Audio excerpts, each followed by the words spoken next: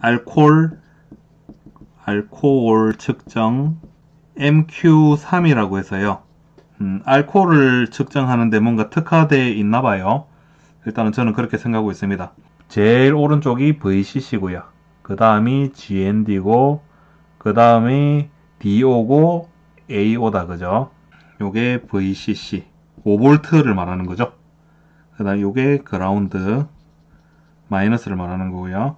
그 다음 이게 DO고 이게 아날로그 0인데요.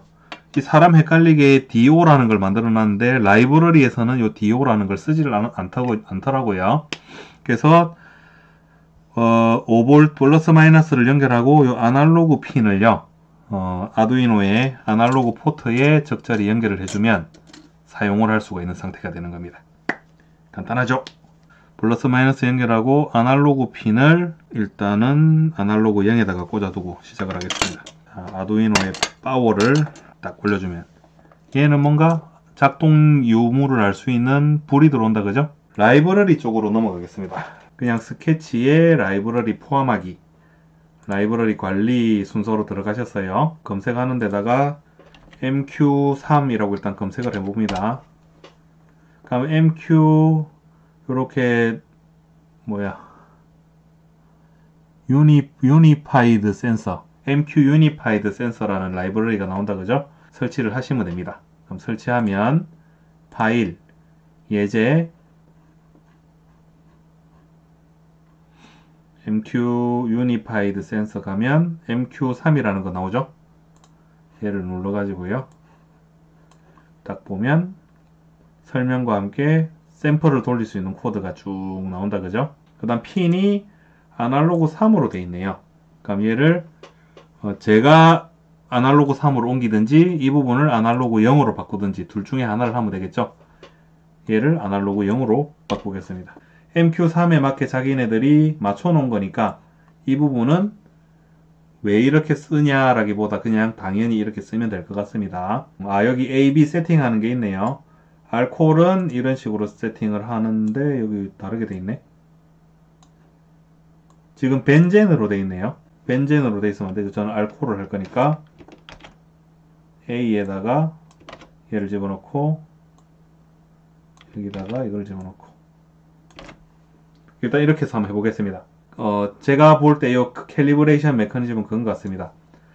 사용자가 알코올로 입김을 불지 않는 그런 그 공허한 공기 상태에 있을 때 그때의 이 센서 값을 측정을 해서 그 베이스로 깔고 거기서부터 변화되는 상태를 어, 떻게 값으로 출력하겠다.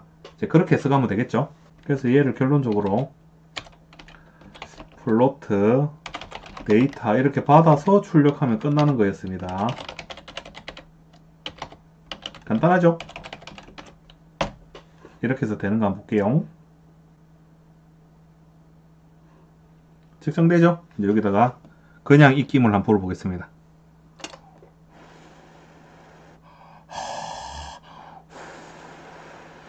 아무 값도 안 나오죠? 이제 가글을 한번 해보도록 하죠. 조금만.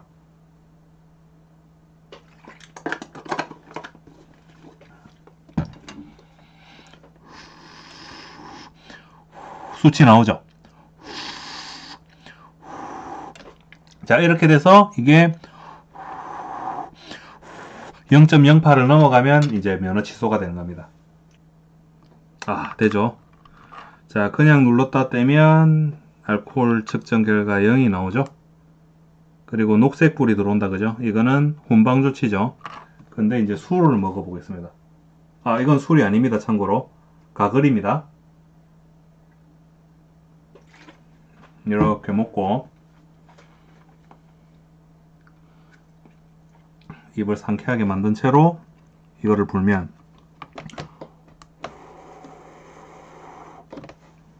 자 이렇게 0.03이 뜨면서 면허 정지가 되는 거죠. 바로 딱지 끊기는 거죠. 이렇게 해서 알코올 측정기가 만들어졌습니다